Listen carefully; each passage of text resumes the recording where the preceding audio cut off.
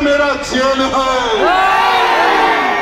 मैं उनको कहना चाहूँगा, जो आज ये कह रहे हैं कि तुम्हारा राजनीति करियर खत्म हो जाएगा हिंदू के प्रति बात करना बंद कर दो।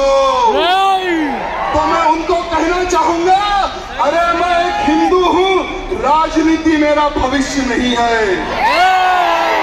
अरे दो बार विधायक बन चुका हूँ, मैं हमारा पुलिस के